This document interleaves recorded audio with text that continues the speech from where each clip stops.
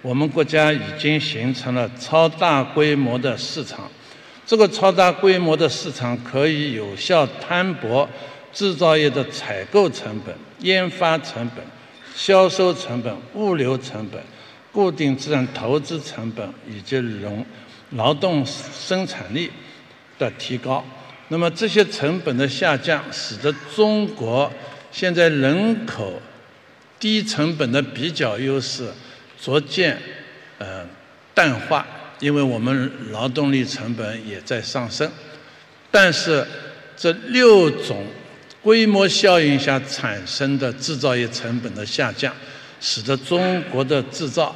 比国际同类产品平均要低百分之三十到四十的成本，就形成了新的竞争力。